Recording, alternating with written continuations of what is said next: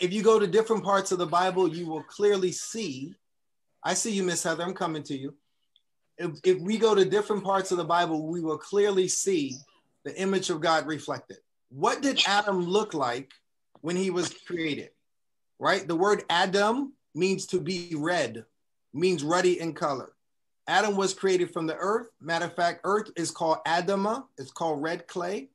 And King David, one of Abraham's most famous descendants, was also said to be ruddy, which means a reddish brown yeah. complexion. It's just something interesting to take note of.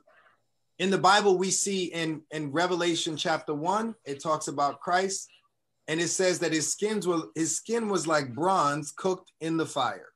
All right, so let's move on from that.